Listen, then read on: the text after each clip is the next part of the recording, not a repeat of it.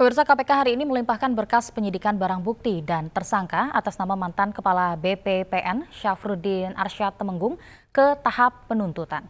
Dengan demikian kasus tersebut akan segera diadili di Pengadilan Tipikor. Saat pelimpahan berkas, mantan Kepala BPPN Syafruddin Arsyad Temenggung didampingi kuasa hukumnya Yusril Iza Mahendra.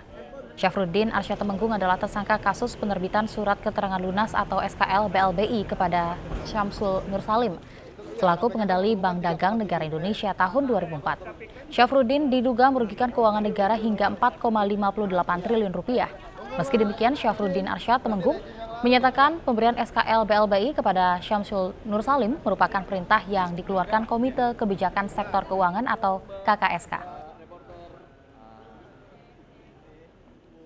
Empat itu saya diperintahkan oleh KKSK untuk mengeluarkan eh, apa sudah selesainya itu ya karena memang sudah diperiksa lagi dicek ulang tahun 2002 sampai 2004 oleh KKSK bukan saya yang mengecek ulang jadi KKSK itu menunjuk tim independen mengecek ulang dan hasil cekannya ada yang kurang dan sudah dilunasi pada tahun 2004 dan karena itu diterbitkanlah surat keterangan eh, apa penyelesaian kewajiban pemegang saham tahun 2004 dan saya menerbitkan itu juga atas perintah dari KKSK.